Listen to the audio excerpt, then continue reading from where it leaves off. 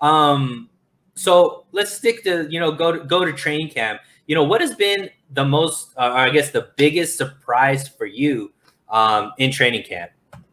So to me, the biggest surprise has been the emergence of our offense. Really, I mean, we're I think we're gonna have a dynamite offense this year, regardless who plays quarterback. I mean, I think if Trey Lance is able to win the starting job and you know su- surpass Jimmy Garoppolo, we're gonna have like potentially one of the best offenses in the NFL, one of the best offenses we've probably ever seen because we have so many weapons across the board. Um, I was very curious to see how Deebo Samuel came into camp. Uh, he's came in and he's balled out from reports. Uh, Brandon Aiyuk has stepped his game up to another level. So I think uh, he's going to be legitimately a top seven, eight wide receiver in the NFL. And I think he's going to do it for a long time. I mean, just the way he's built, uh, his makeup, he has those long arms, huge catch radius. He's super athletic. I think he's going to be a great receiver for a long time. And then, you know, we've heard of Ross Dwelley, you know, starting to to come on in camp. I think he's I think they said he's second in catches in camp training camp right now. Um, if I if I heard that correctly, but he had he had like a 40 yard touchdown catch yesterday in training camp practice. So uh, to me, the the plethora of weapons we're going to have on offense to me is super exciting. Um, I would is it a surprise? To me, it's a surprise. Just as I didn't expect them to be that good this year coming into the season, and it's super exciting to me that they are. You, we, we didn't even talk about the running back position, which I think Trey Sermon is going to be a good running back, but I think this is going to finally be the season where we're going to see uh, Raheem Mostert get 12 to 15 carries a game. I think he's going to surpass 12 to 1,300 yards rushing. This is going to be his breakout season. I think uh, I see a big season for Raheem Mostert in the offense this year. Nice. Um, let me let uh, Mr. Larice. What is with these stupid, stupid questions? Harsh, bro. I came up with them myself. Jimmy's gonna take take our team to a Super Bowl. Lance hasn't even learned the offense and has major accuracy issues. Give us a break. Well, William, all comments are welcome. Um, I don't know. Uh, from what the coaching staff is saying, Trey Lance is already way above schedule when it comes to learning the offense.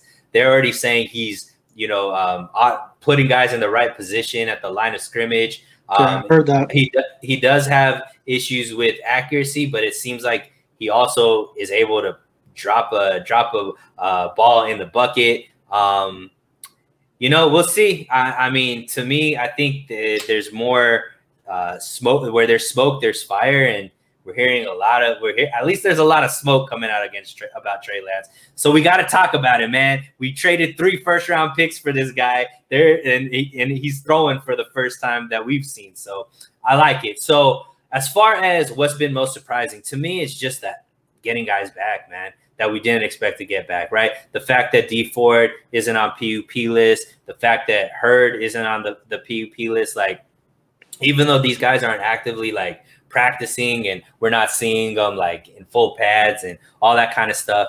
Even to see these guys that we didn't expect anything out of, to even get a chance to be able to, you know, have them be a part of the team and and play a productive role, I think is amazing. A lot of good news, something that we're not used to. We're usually losing somebody that's super important through training camp, not getting guys back and you know being able to do more than what we expected in training camp. Another what are your thing, thoughts on what are your thoughts on Jalen Hurd? I mean, it's a good sign that he's at least available, right? But I just don't know. I mean, if Jimmy's the quarterback, I just don't know what uh I just don't know what um that like you can't play three guys. I, I guess it doesn't make sense to me.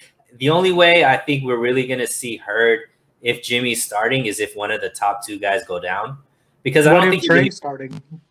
If Trey's starting, then you know every like then we could run like we could run sets where we have three, four wide receivers on the, uh, uh you know, and just spread it out. I think Kyle Shanahan would be like willing to do that if he knows there's a guy that could like throw the ball at every single level in the field. So you could make a guy go short, make a guy go cross, make a guy go deep, you know, and then have like another deep cross. Like, so I think it'll be interesting. I mean, obviously, Sanu's uh, supposedly come in really healthy and playing well. Um, you know, and he gives the he gives the wide receiver corps something different. But I mean, I don't know. Until I I'll see Hurd, you, like I, I am else. really excited about Jalen Hurd. I mean, we all remember his rookie uh, one preseason game we saw him in. I mean, he looked like he was the best uh, player we drafted that season. I think Peter King had reported that uh, the the coaching staff thought he had the potential to be offensive rookie of the year that year before he got Mhm. hurt. So I mean, it's super exciting. I mean, if they're if they were projecting the coaching staff that he was going to be better than Deebo Samuel, and we see what Deebo Samuel's turned into, it's it's uh it's really exciting that we potentially might actually get to see it this year finally. Um, Yeah. So that's exciting. Another thing that I'm surprised with Hurd that a lot of people don't bring up is if Trey Lance does win the job, Hurd is such a big-bodied wide receiver, and if we end up lining him in the slot where he probably will be lined up in, he's going to pay so much dividends in the running game. He's going to be use that big body to block, and I think it's going to have a huge impact on you know our running game with Trey Lance and whatever running back we have back there. I mean, if he gives Mostert another half a second more, that's just going to be 40 yards more down the field that Mostert can, you know, because in a blink of an eye, that guy is gone. So uh, to me, that's a, something that's I think a bit overlooked is how good of a blocker Jalen Hurd is uh, at the wide receiver position. Yeah, I mean, if we could get anything out of him, once again, kind of like my theme is like where we already had really good assets at positions on offense and defense, and we're just getting guys back that we weren't expecting to have. So to me, it's just only could go up, right? We're not not go down. So um, those are the biggest things I think uh, I took away, and uh, we'll get you out on this one, my man. So talk talk to me just overall. What are you most excited about in this this season? And I don't even want to talk about what you're most worried about because I think you've been talking about it all all through this show about what you're most worried about. But let's start with at least the positive. What are you most excited about this season? So let's talk about predictions. You know, let me let me make Okay. some predictions here, Sunil. So right. I think um, you know, all the doom and gloom. I still think that we have we're a 10-11 win team this season. I think that uh, 10 wins, honestly, I believe is going to win our division. So NFC West is a tough division. Um, you know, fans do need to take that into account.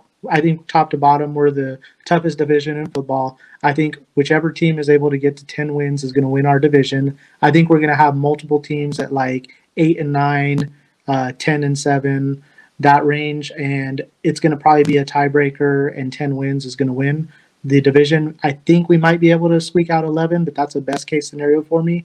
Um, but but my prediction, you know, is in that range win loss total. But something that's super exciting to me, I kind of alluded to it in our first topic that we talked about, is I think we're finally going to see a 49er team that is carried by the offense. We've never had this. Like Jim Right. Harbaugh was a defensive oriented uh, team, even though he was a you know former quarterback. They were always defense first. Um, Mike Nolan back in the day is all defense. Mike Singletary all defense. Uh, even Kyle Shanahan, he's never had a team really that was carried by the offense, even though he's an offensive genius. It's always been the defense carrying the load, even in our Super Bowl season. So I think what's exciting to me this season is our offense is set up to just break out.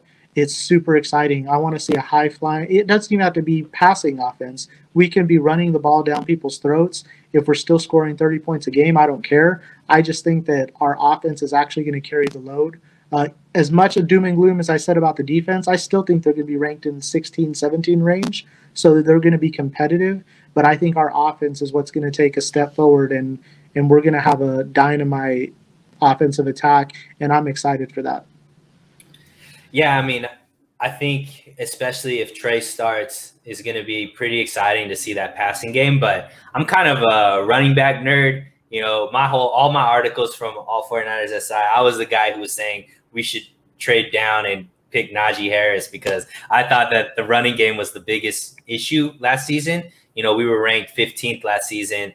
Um, in the 2019 season, we were ranked number two, and we dropped about 30 yards per game um, on average with that. And so I think that affected the um, the offense a lot. along with obviously inconsistent quarterback play. So for me to be able to have a, a intact um, offensive line is huge. To come back and really have an All Pro at center finally, I think is going to be huge. And to go back to having three legit, you know, running backs in that stable with Sermon, Gallman, and Mostert, I'm excited to see how that's going to just make everybody else play better.